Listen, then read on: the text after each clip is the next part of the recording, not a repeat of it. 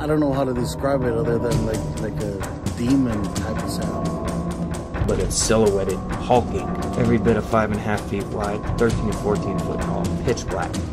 The one thing that ran through my mind when I had this encounter was I don't have a big enough gun.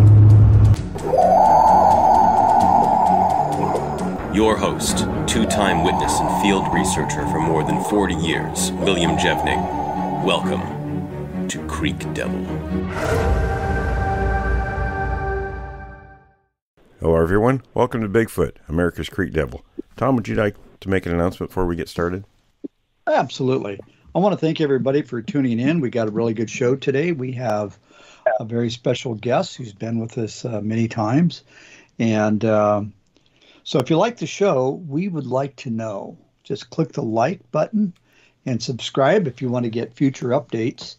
And if you want to support us, you can do so. There's a link in the description on YouTube just click on that for Patreon, and you can do so for as little as a dollar a month. Or you can just go to patreon.com forward slash creek devil, and you can do it that way. Much appreciated. That helps us to help you guys to bring you the content. And with that said, I'm going to hand the mic back to Will. All right. Well, we have Lisa with, in New York with us today, and Lisa is, you know, going to talk about her ongoing work and things she's been finding. You sent me some really interesting audio, and uh, you said we could post that on the Facebook page, and I'll do that Sure. after the show post. But uh, tell us what's going on.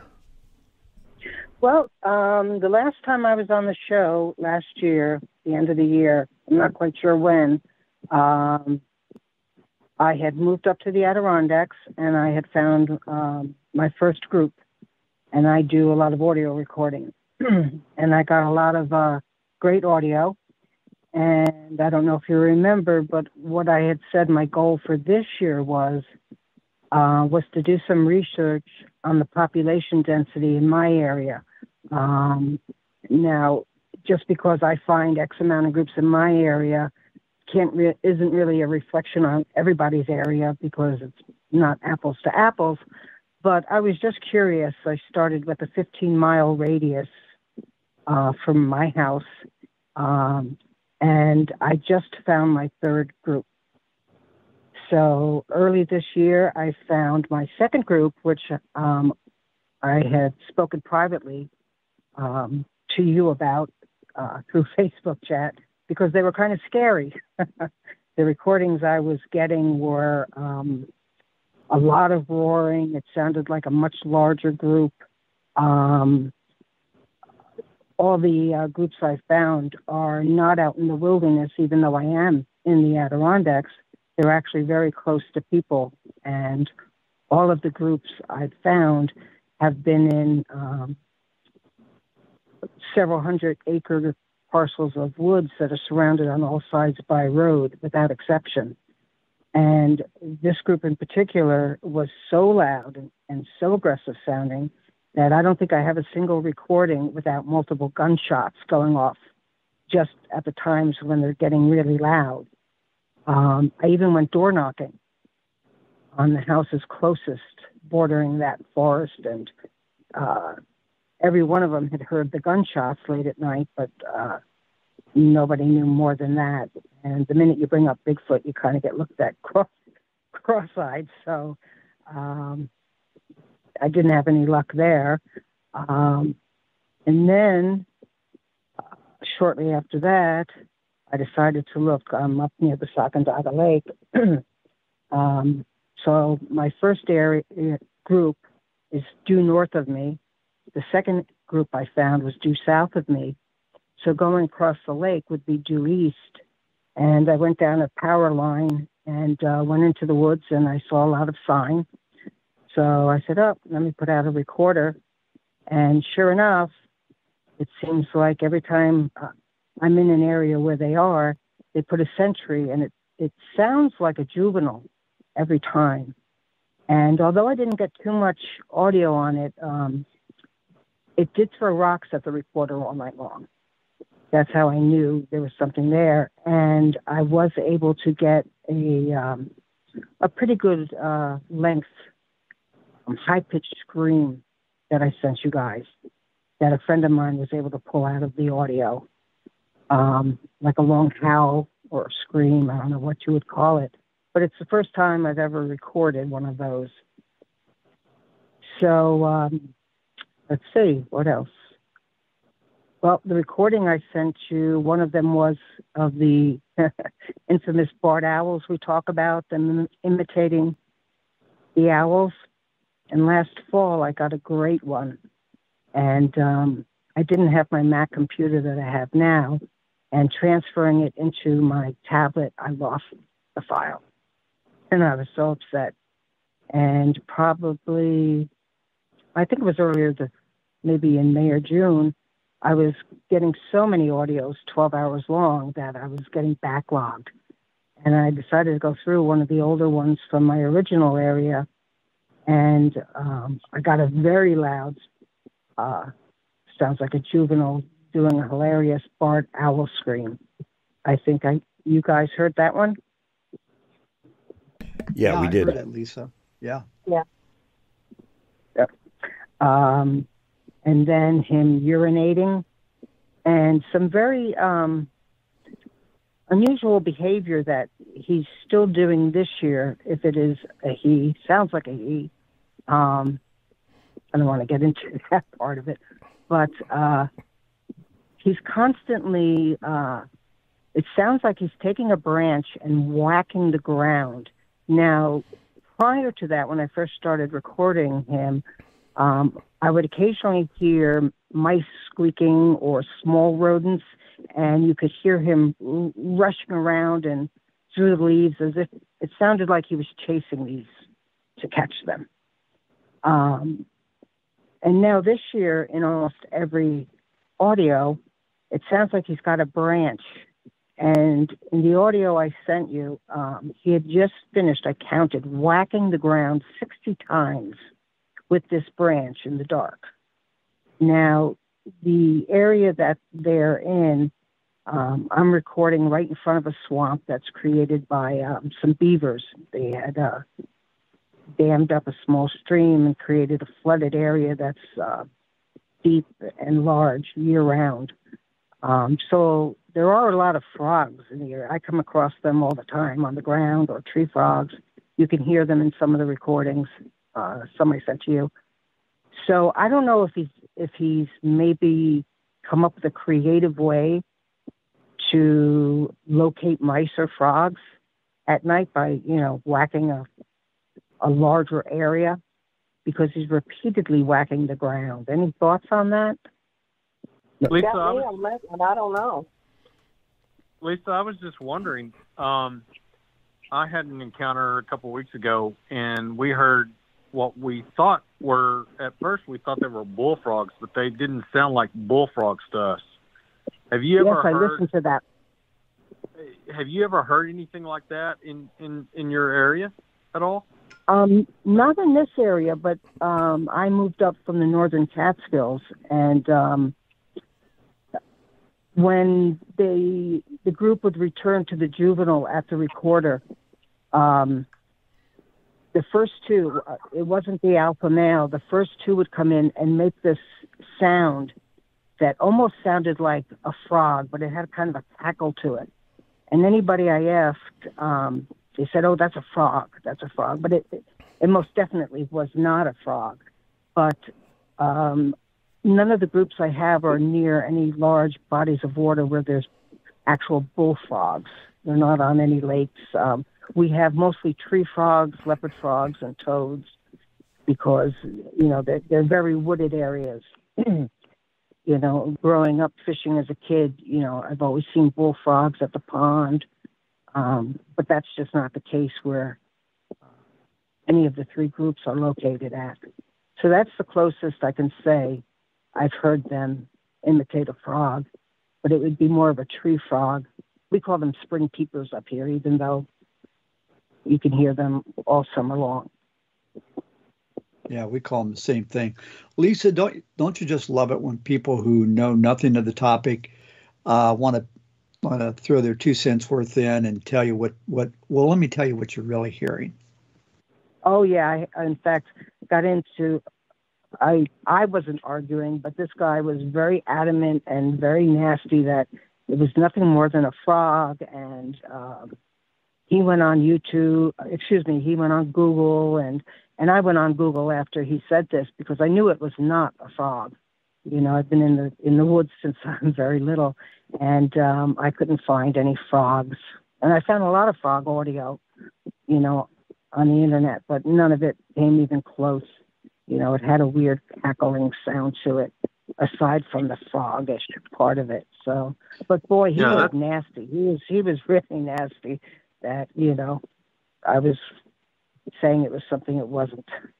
Well, you know what I usually do in those situations is I'll say, "Wow, that's that's great." You know, now I was parked here. Now, where was where was your vehicle? Because I I didn't. Yeah, right. Oh, oh, you were you were nowhere near this place. Okay, you need to shut That's your a good then. one. Yeah, right. That's a good one. Yeah, get that a lot. Get that a lot. That's why I think that's why I don't have a YouTube channel. Right. Uh, we had a guy years ago. Will, you know who I'm talking about? uh, it's even on the uh, on the episode where he said when he had his first encounter, he said, "You know, if uh, if somebody wants to come up to me and say, well, I know you think you saw Bigfoot, but let me tell you what you really saw," he says. I, I'm willing to sit in jail for a few days over that one. Are, are we talking Yeah. about Lee by chance? no, no, no, not Oh. Lee.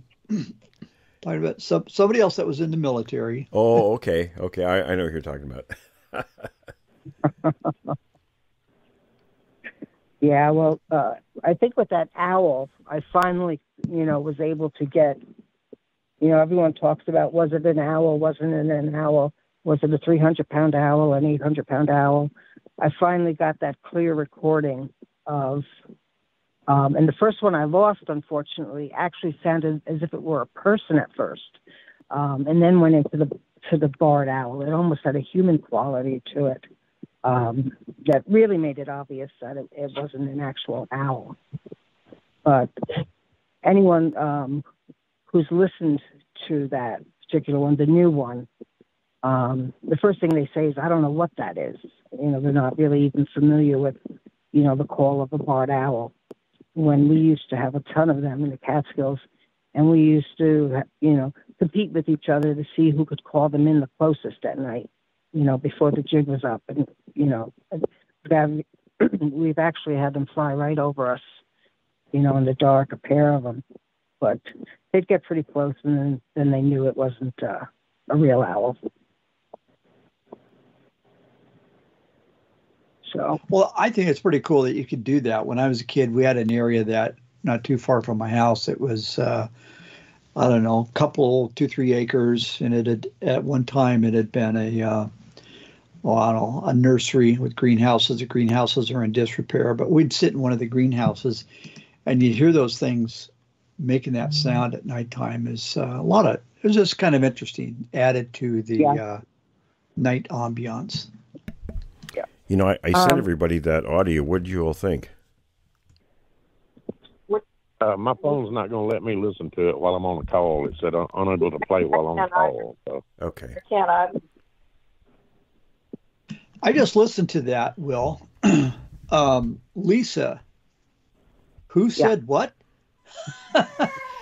Actually, I'll I'll What? play it. I'll play it on the mic and then I'll put it on the end of the recording, guys. Let me. uh Okay, my phone's wanting to core. Okay, let me let me play it here.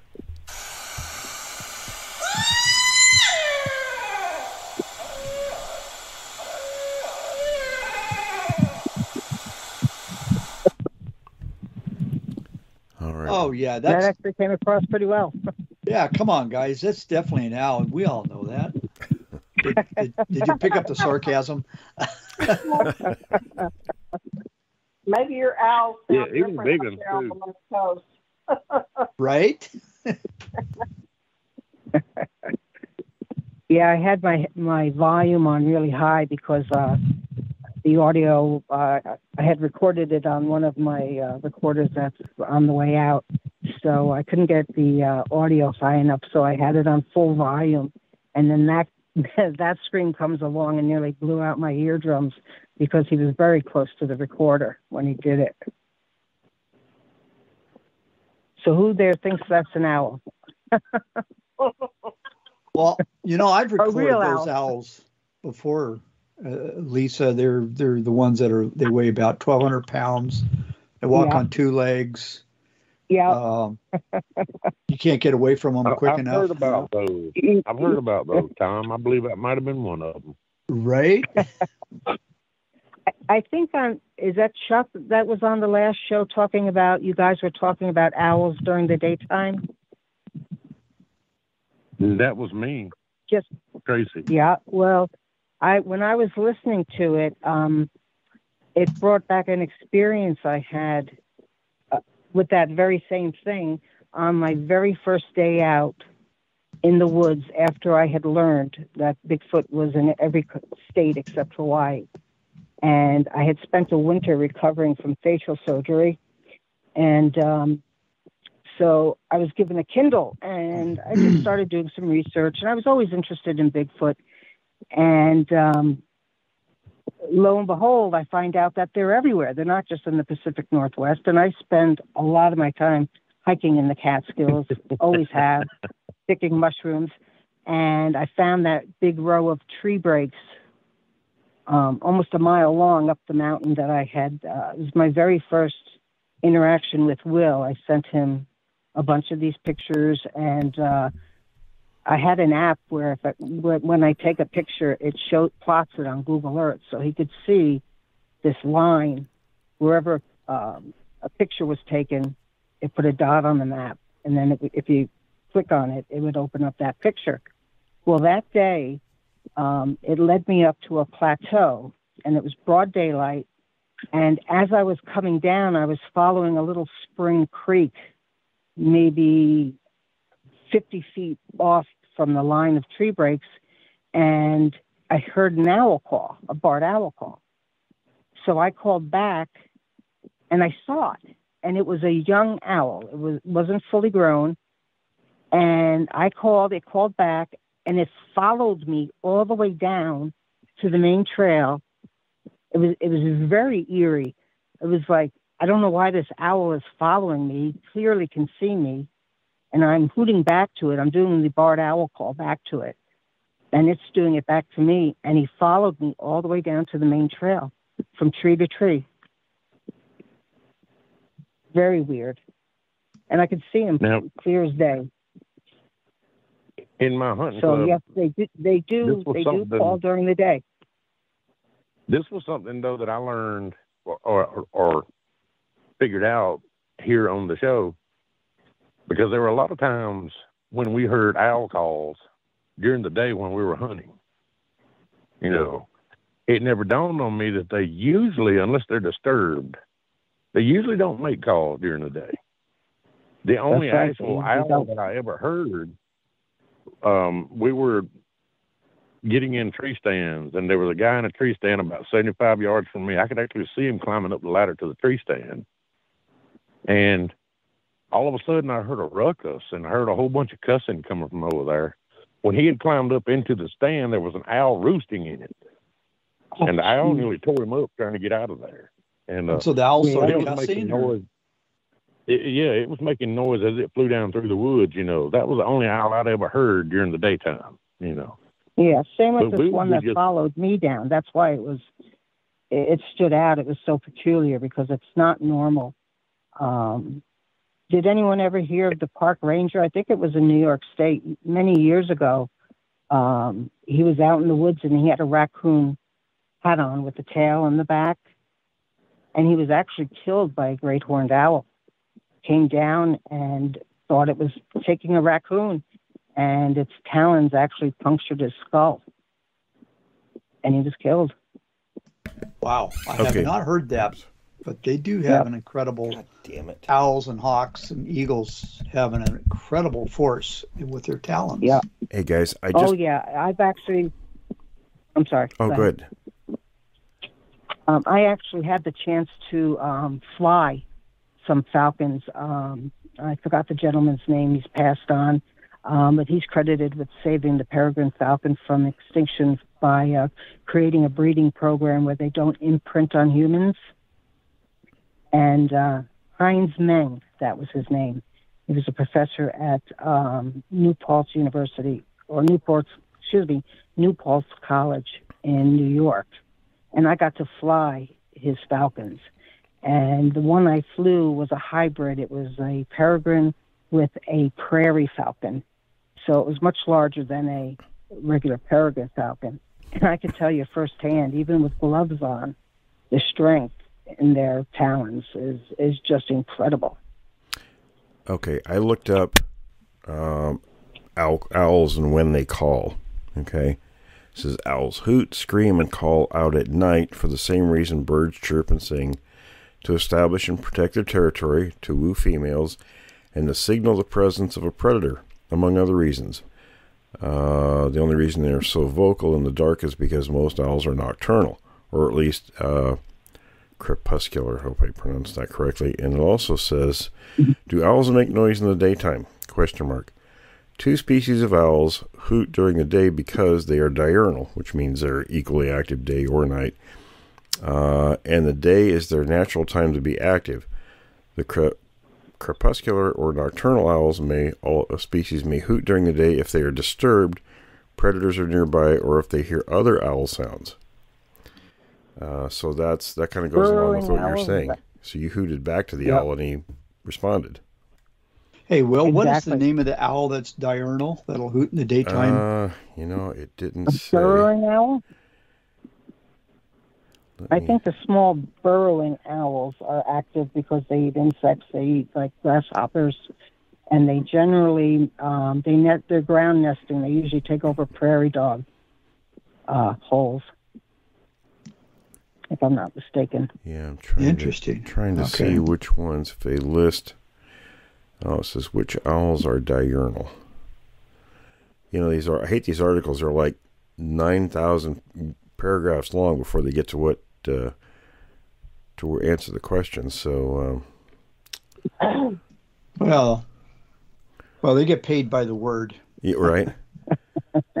huh? Says most owls don't, or most owls don't hoot. Uh, they use screeches and caws. That's interesting. Uh, okay. Um, this is a barn owl, not barred owl. Though nocturnal, might hunt during daylight hours, if weather, uh, if bad weather keeps it from doing so at night.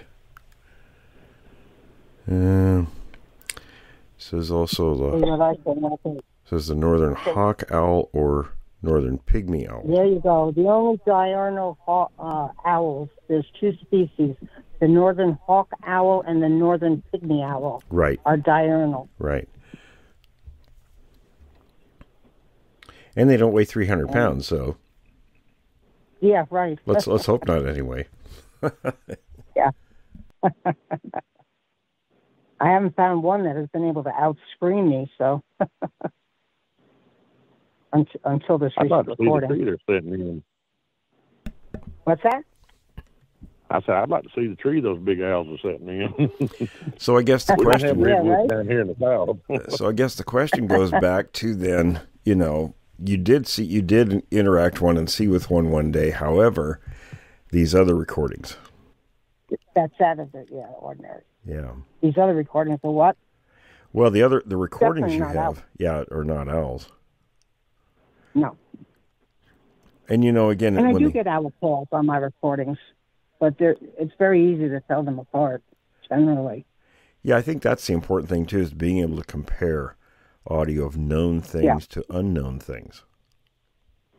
exactly, and not assume just because you you hear all the time that that Bigfoot mimic owls that every owl you hear at night or on a recording is going to be a Bigfoot. It's just the same thing with the coyotes. You know, when coyotes scream, and then you'll hear um, Bigfoot almost mimic them, mimicking them in the same, you know, yipping and calling. Oh, I've heard it myself, and and what I've heard was they didn't do the yipping and all that kind of stuff. The barking was the Bigfoot noises were very distinct. They would sound to the untrained ear like coyote, but they weren't. Right. When you hear known coyotes, you hear all the, you know, the, the howls and the yipping and the barking, and there's always a cluster of them doing it.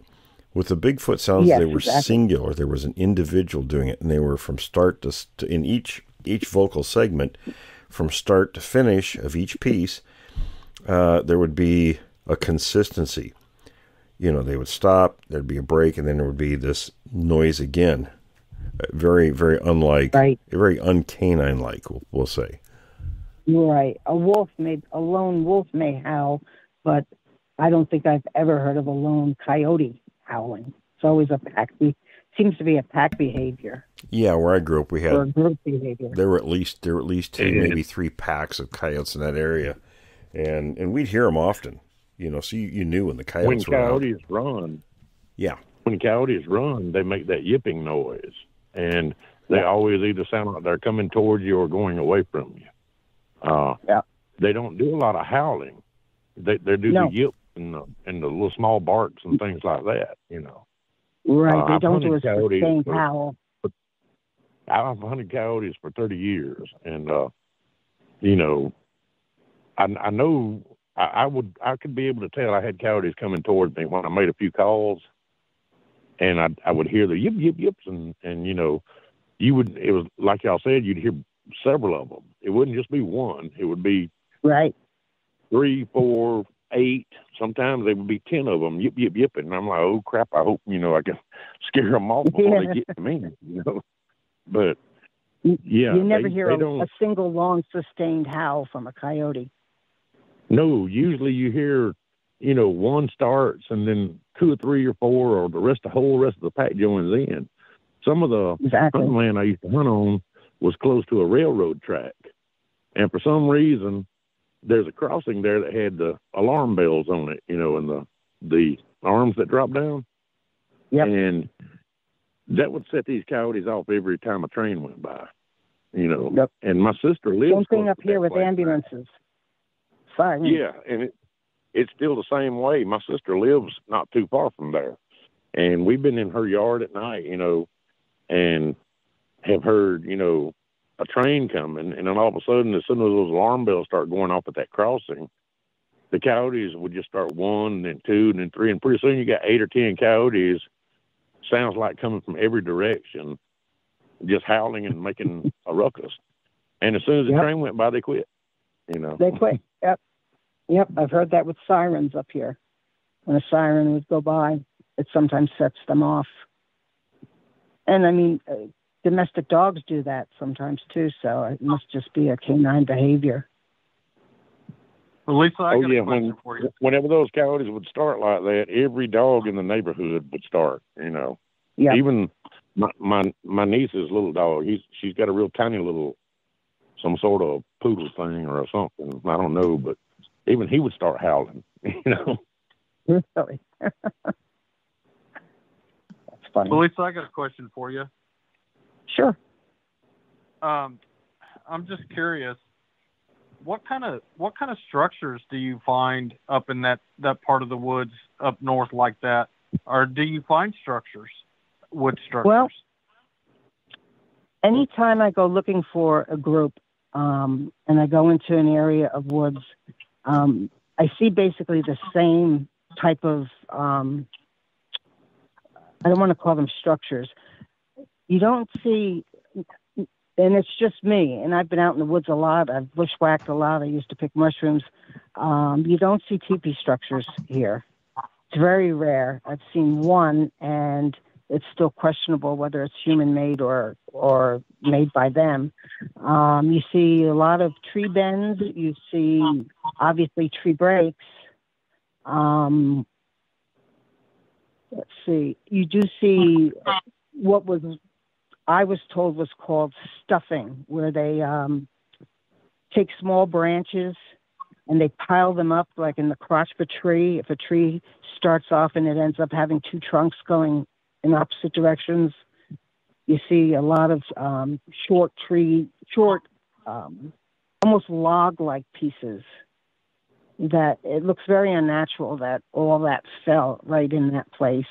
You see a lot of leaners where they'll lean a lot of tree. Um, they'll either push over uh, the last big one I found was um, not not a teepee, but um, some of the long, maybe 20 foot dead pieces were dragged from another area, or it included ones that were right there and pushed over. So you see a lot of symmetrical type structures, if that makes sense. Oh yeah, it makes sense. they- I've seen the same thing in my in my area here in Oklahoma. Yeah, not you don't see these big teepee, you know, structures or any of that. But um, when you go in, when I go into an area and I know immediately this is where I'm going to put a recorder, um, you just see a totally abnormal amount of tree breaks and bends and just uh, stuff that looks too odd. It's it's you know to be a, a coincidence. You know that so many trees, you know, just happen to be lined up in this, you know, the crotch of one tree. So I don't know. Do you guys see teepee-like structures and you know I, things I that people have here immediately think of when they? I have here in Oklahoma. I've seen teepee structures, and um, the biggest structure I've ever seen was probably 14 or 15 feet tall, and Wow. uh, and it was probably I, I just estimate probably 20 or 30 yards apart, and it was just it was an amazing structure, and I've, Wow. I've seen a lot of structures like that. Some of them are smaller, some of them are larger. Um, I've found X formations in the woods, which is really odd to me. Uh, don't really know what that means, but uh, Somebody- I have seen those before too. Um, I was just uh, reading something, uh, somebody's opinion on uh, the X formations, which I don't see often. And I believe they were researching in your area. They were in the South. And they said that the X's were, um, they found the X's as uh, boundary markers for other Bigfoot groups. And whenever he was in an area that had groups that were very near to each other, he would see a lot of those, almost territorial markers. Whereas to me, the tree breaks that I have found have always been directional markers.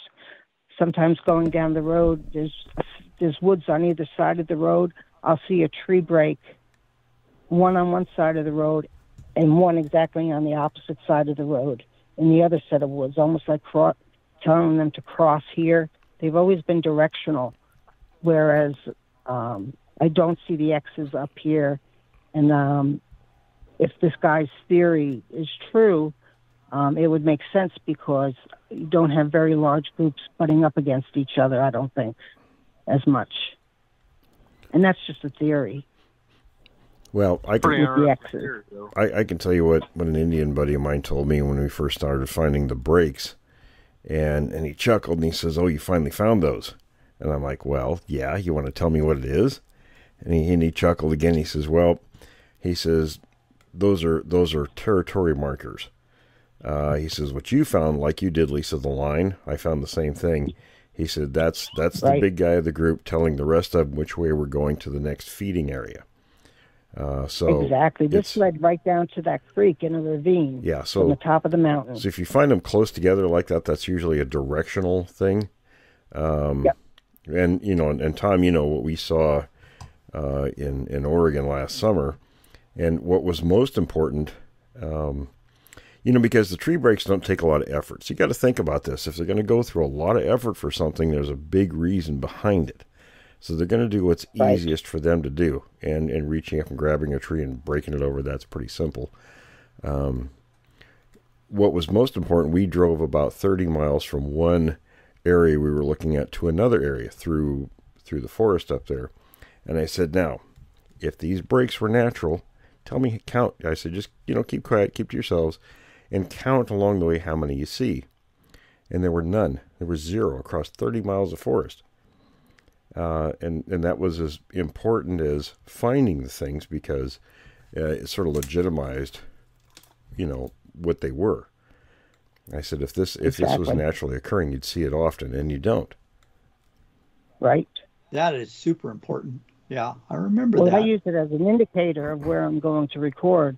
When I walk in a you know, I look on Google Earth and I say, okay, this matches my parameters. A couple hundred acres. It's surrounded on all sides by roads, and I walk in there, and I'll either see all that or I won't see that. And every time I've seen it and put a recorder in, I've got gotten them every time I put the recorder in, without fail. And areas without anything in them, nothing. That's very interesting. Yeah, typically, like in, in our area, our areas and yours, um, when you see the markings like that, that's a good indicator. That's when the creatures are present in that area. If you don't see those markings, you're not going to get anything. Exactly. Um, here's a question for you in reference to teepee-like structures, um, where you hear people talk about um, finding a lot of them, and since that's not the case for me, the one I found, the only thing that led me to think it was legitimate was it was about 12 to 15 feet tall. I sent a picture to Will, but it was years ago. Um, and right next to it was a little miniature one, almost like a juvenile practicing. It was um, it was a little tiny tree break, and branches lined up almost as if it was trying to make one. Lisa, And there were two deer bones inside of it. Not the deer Yes. bones, but a little tree. I saw that only once. And again, and this was probably a tree that was seven and a half foot tall. It was um, a little hemlock. I was there exactly a week earlier on this path that I would hike. And it's actually an area that Will was at last summer. And uh, so I'd hiked up there, and it's right at a location right next to the path. I was there exactly a week later, and somebody had snapped it over. All the other trees were in perfect condition, uh, but that one. So it was obviously intentional. I don't know what the purpose of it was, but uh, yeah, very interesting. That was the only time I, well, no, I take it back. There was two times I saw little ones, but this one was particularly small, only only about seven and a half feet tall. Well, you know, my thoughts on Well, here's a question I had. If if they're, I think when they're in an area, the reason they would mark their being their presence is if another group were coming through the area. That way, they'd know that there was a group present feeding there. Well, here's a question. Um, you hear a lot about these teepee structures, which I'm not familiar with because, you know, in the Catskills or the Adirondacks, like I said, other than that one, I don't see them. Um, could they be associated with a certain subtype of Bigfoot? And that's why they're in other parts of the country because overall, they like the tree breaks are the same in New York as they are in California. Right. A lot of these um, things they do are exactly the same, but not the tr- not the teepee. These big elaborate teepee structures, you know, people see in photographs. Right. I, I think you're right about that. So- um, in fact, I was just messaging Tom about that. That you know that seems to be a uh, a regional phenomenon. It's not it's not everywhere. And I know there's people listening Right. that'll say, "Oh, yes, they are. It's everywhere." No, it's not.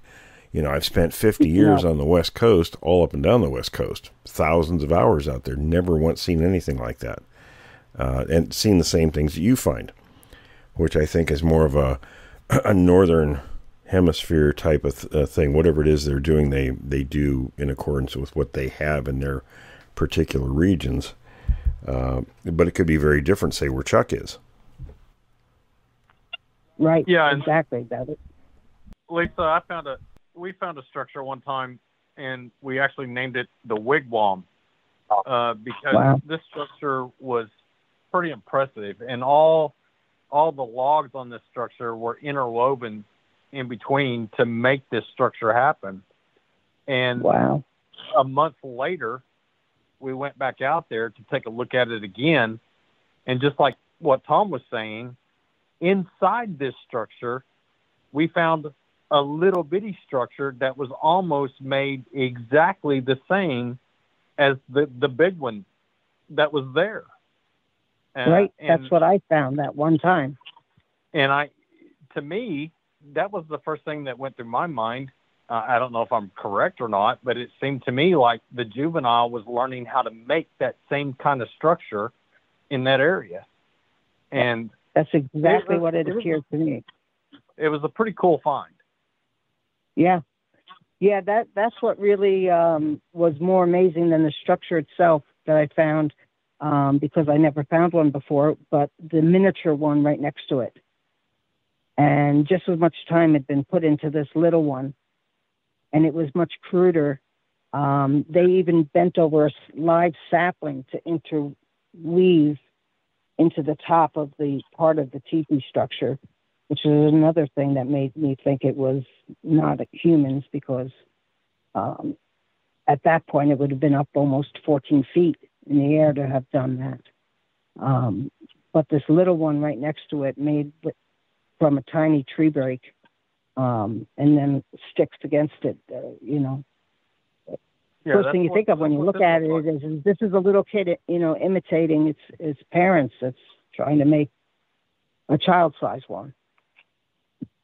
Yeah, I totally agree with that. Will, what's your take on that? Why do you think they do this kind of stuff? Well, it's something I'm not familiar with. And the only thing I can say is, um, and and something to keep in mind is our, our friend Win from the Flathead Reservation. Uh, we were I showed him some pictures of these once, and his take was, he says, well, you know, hunters a lot of times, and this is out of ease of what they bring with them. If they're if they're going out, and he was speaking about native hunters, but others also too. Uh, if they're going to go out and stay the night in a location, they'll just carry a tarp because it's easier, and they'll take whatever materials are there to lean up against trees, etc., and then put the tarp on them. Then when they leave and move on the next day, they'll just take the tarp and leave the structure in place. So, you know, playing devil's advocate, you have to consider those things too. Right. Another thing with these teepee structures are are uh, the like. They don't appear to me to be um, created as a um,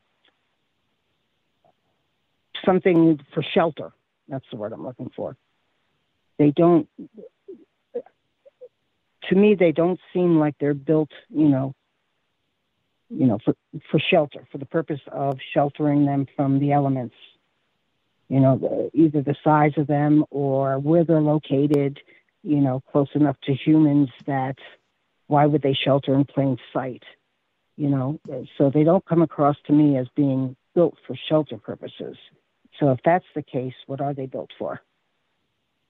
You know, that's a good point, Lisa, because that's what I've noticed too. Is like if these are shelters, they're pretty. Um, they're not very well built. They're not well designed, and and could you imagine uh, Bigfoot building this thing and then just hanging out there for for what reason? I mean, they're they survive just like all the other wild animals do in very harsh conditions. You know, in snow and rain and and all sorts of things. So And there's no proof they Um, need shelter. Right, exactly. Yeah, that's that's the point I was trying to make. Is who knows? These, I would say, if anything else, these are. Uh, I used to be in the Coast Guard. I think of these as uh, range markers. you know, Yeah. Buoys. Right. These are land buoys. Yeah, maybe they're symbolic of something, you know, that we just don't understand. You know, if they're as smart as, you know, we know they are. Right. and uh, they don't appear. You know, I've never seen one that I would say, okay, you know, they're building themselves a little, you know, log cabin in the woods. You know, Well, here's the thought too. Uh, one of the things we know is they will follow waterways to navigate cross country. You know, just like we would. It's easier to follow a body of water from point A to point B than it is to try to go cross country through, you know, forest where you can't see very far ahead of you. Uh, what if they were making stuff like that as sort of a marker? You know, kind of like blazing a trail in a way, marking your route. Uh, I guess you'd. Yeah. I guess what you'd have to do is you'd have to you'd have to plot those on a map and see. Well, are they out in the middle of nowhere or are they near waterways? right? Forrest, And what to are your me, the amount of time and effort put into making them is a factor in all of this too. It is. some are very crude and some are very elaborate and you know made with hundreds and hundreds of sticks you know and carefully woven while others are much cruder so um, there's a Well, and like, it's, it's very fascinating and, and also you have to consider too, like crop circles. You know, are some Doug and Dave, or are they legitimate? exactly or boy I scouts have a question. you know they,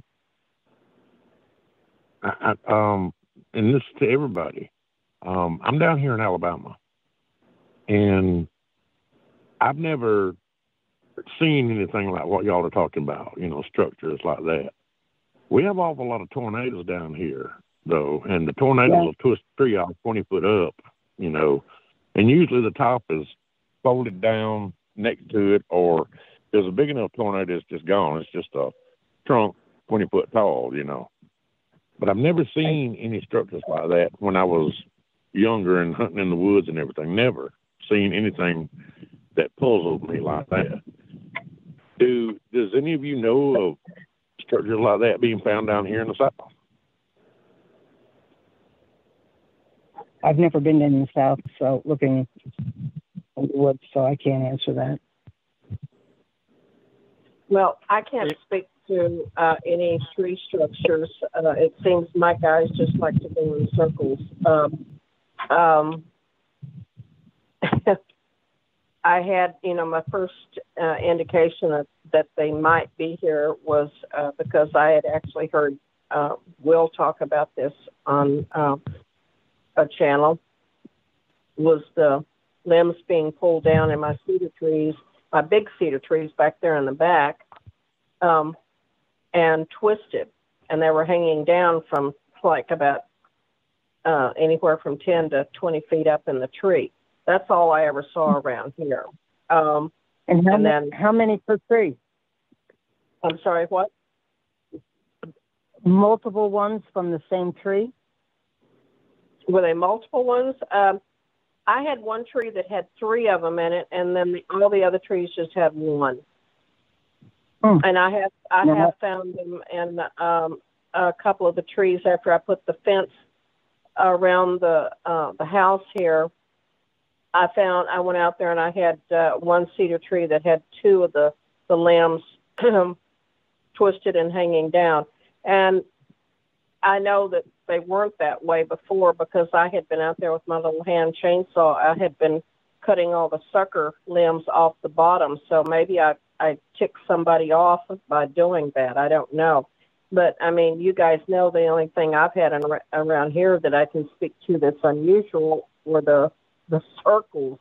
You know, my my What figure eight out circles? there. What kind of circles? Um, Yeah. there was a path about uh, three feet wide, beat down around um, two groups of cedars, and they formed uh, perfect circles and a perfect figure eight. And then there was a path leading off the north side of one down towards the the tank, water tank, and then um, then the one to the uh, south side, they had another one leading out towards. Um, the ranch across the road from me. Hmm, I've never heard of that before. I have seen something, and I'm curious if you guys out west see it because um, you have, when you have logging out there, sometimes you have small, clear cut areas, which I've heard you guys talking about before. They're beneficial for the ungulates, the elk and the deer, because they create browse for them. Um, whenever we have um, up here um, clear cut areas for, I don't know, putting in buildings or the such, you'll see tree breaks where they stopped, almost like them saying, don't go any further. Um, it, it's very common to see after, you know, people have gone in there and just clear cut. In fact, just down the maybe three miles from me, they did about a 10 acre swath on the side of the road that backed up to woods. And there were probably three on each side length of the clear cut area, right along the edges, right after they completed these tree breaks that weren't created by the, the machinery used to, to clear cut the area to knock everything down. Has anybody seen something like that? I don't think I don't think we paid any attention to that, did we, Tom? No, um, no, not that I'm aware of. So you know, there could be something going on out there that we don't know, but I don't, you know, at this juncture, uh, I don't think we've attributed anything, you know, Sasquatch related to that. I've just seen it multiple times, so I was, and now I look for it. You know, when I see them clearing out some land, you know, to build something. Sure. Oh yeah. No, absolutely. I look, I look for it. I think it's beneficial to be looking at everything, mm-hmm. taking pictures of everything, and you don't have to necessarily draw an immediate conclusion, but No, you just you are being aware, and then you start, you know, maybe a trend or a pattern starts to develop. Exactly. Yeah. Connecting the dots. Yeah. Right. Yeah, there's nothing wrong with that whatsoever. Yeah. Yeah, I'm not saying it's them, but it's just unusual that, you know, they're not. I find them because I'm looking, I'm seeing them more and more, and I'm paying attention more and more. That's a good point, Lisa. Is once your awareness is up with these creatures and you know what to look for, then yeah, absolutely.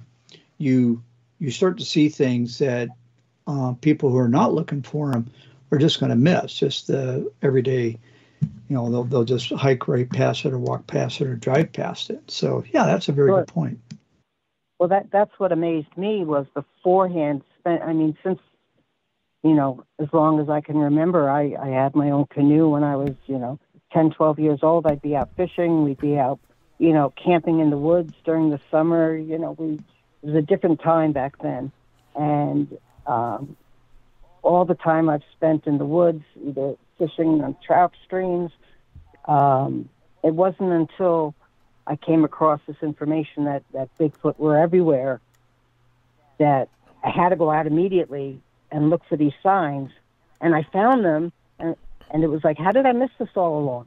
Because it's part of the I background even noise. noticed anything. Exactly. And you know, I never thought about it until I went to Bob Titmus's house once back in the '80s, and he showed me. And and for him, it was just kind of an anomaly because he only noticed it once, didn't really pay a lot of attention to it. But as they were following a line of tracks one time in the Bluff Creek area, they were finding these, and it was just branches that were snapped over and kind of twisted back on themselves. And he says, "Well, you know, we I don't know if they do this or not." He says, "We we found this, you know, periodically while we were following this line of tracks." And I didn't think much of it either because what he brought home, he had he had piles of these in his house that he collected along this particular, you know, uh, line of tracks they followed. And we both just kind of scratched our heads and like, well, okay, you know, whatever. Because I thought it was a one-off thing. And he says, I don't know, maybe they just do it as they walk along and just snapping these things over, which could very well have been. And then, you know, a number of years later, when we were climbing this ridge uh, in southern Washington, we found that line of trees that were snapped over. And and to me, that was just it was incredible because there was nothing else that could have possibly done that. Yep. Well, you saw the pictures I sent you. These weren't saplings that were No, same here. They weren't saplings. It just turned out they were all fresh. Um, the majority of them were fresh and, and you know five six inches. You know hmm these were hefty.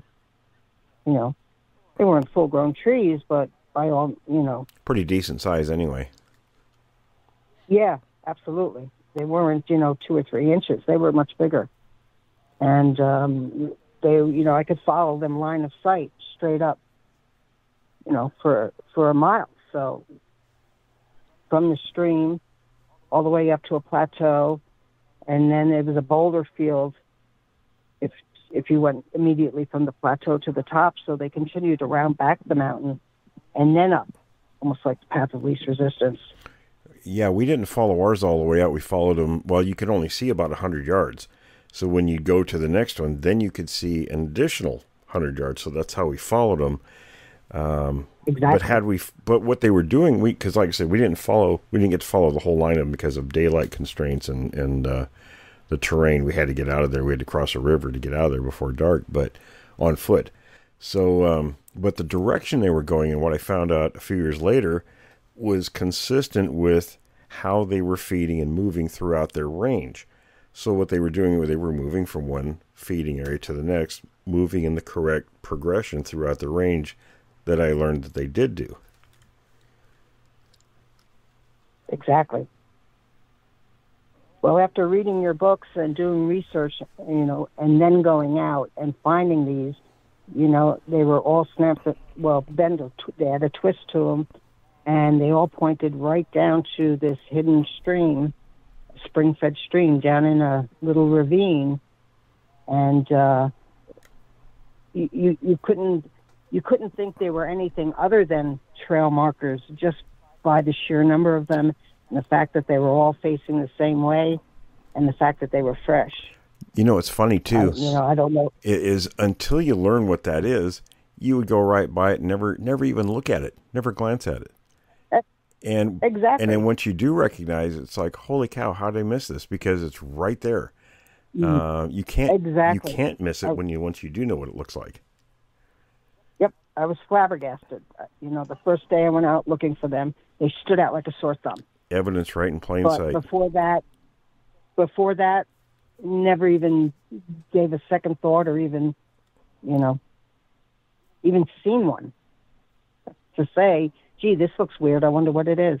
Yeah, exactly. You just Lisa, I had the exact same experience. I I read Will's book, and I think I heard him talking about Will how you would line them up, and you go about hundred yards, and another hundred yards, and another hundred yards. So when I saw the first one of these things, you know, I just kind of followed them, and uh, one pointed to another, and they're about 100, 110 yards apart. And the last one pointed down to a lake that in the Chinook language translates to way of death, path of death, you're going to die. I didn't go to the lake. Is is there a message there, Tom? yeah. I, I don't know. I didn't want to find and, out. And you're here today, and you're here today to record this. right. And actually, to get to that lake, it was the slope angle was such, even with all the trees and everything, you'd need a carabiner and ropes and all that kind of stuff to get down there. So I was like, you know, I wanted to go down to the lake and look for footprints, but not that bad.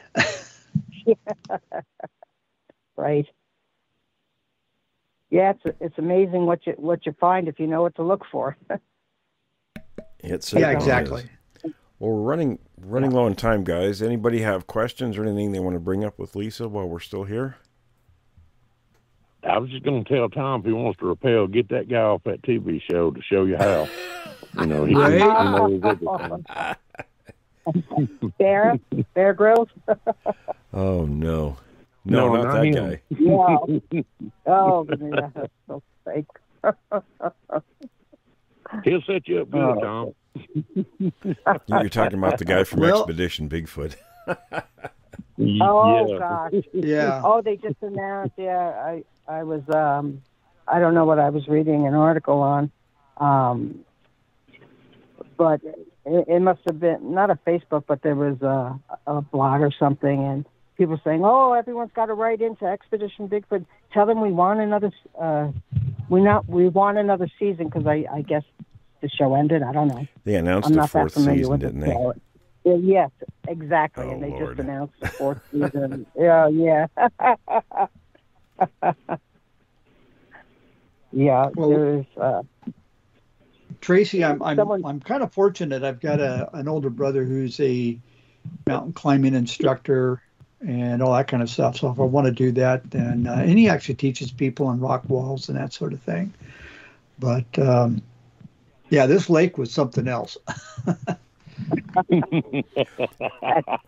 And you know it's interesting, Tom? I just want to see if you can get that guy. what what you found, what I found, what Lisa found, when you're out there, you know, a lot of times that brush is really thick. And especially, you know, my find was in the middle of July, so it was summer, so all the leaves, everything was on. And if it were something that were, I, I, you know, natural or made by any other means, then why was it only at the maximum uh, distance line of sight? You know what I mean? So, in other words, you'd stand at one, you'd look, and and you couldn't see beyond where that marker was. You'd go to that one, Right. and then you'd look out, and lo and behold, the next one is right at the maximum line of sight because the brush was so too thick. You, you, you can only see so far through the brush, and so on. Each one of those was identical. So, And you only saw that one. and you only saw the one. Exactly. So you would have to move from one to the next, just like, you know, we blaze trails, you know, by chipping some bark off a tree. The same thing. Exactly. So if if it- you just looked at one, yeah. you'd say, "What's the significance?" Exactly. Until you found that second, and then you found that third, Right. and you realized there was a pattern going on. So it was definitely artificial. I mean, there was nothing, uh, nothing natural about those whatsoever. Right. Exactly. So if we It wasn't established, a thing. Will, that uh, Bigfoot has a higher IQ than you? Probably. Um,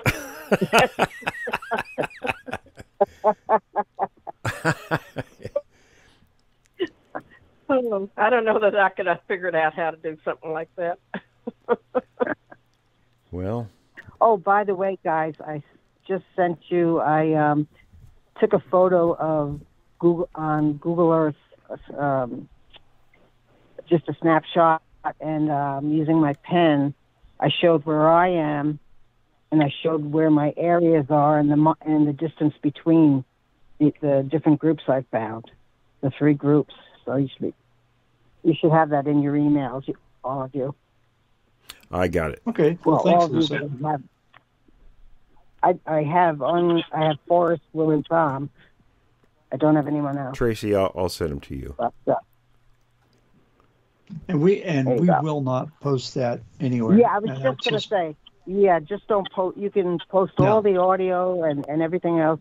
That's why, I, you know, I sent it. I think people when we talk about it on air, I, I'm sure the people would like to hear it. You know, so what we're talking about. So I, you know, I'm all for posting that. But anyone who lives in my area who would look at that picture using the lake as a guide, they would find my areas.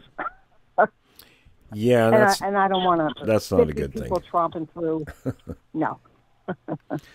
Well, guys, I hate to say it, but we are out of time. Lisa, we always appreciate Well- you coming on and, and updating us. You've got some really fascinating stuff going Well- on there. It's always a pleasure and an honor. So I thank you for inviting me. And I'll be looking for group number four now. Eh, And you should, yes. Yes, absolutely. I'll keep you posted. All right, everyone. Thanks for joining us. Thanks for listening to this episode of Creek Devil. If you or anyone you know has had an encounter with these creatures, please contact us at williamjevning at yahoo.com. That's William, J E V N I N G, at yahoo.com. All communication is confidential. Join us for another program next week. And until then, keep your eyes open there.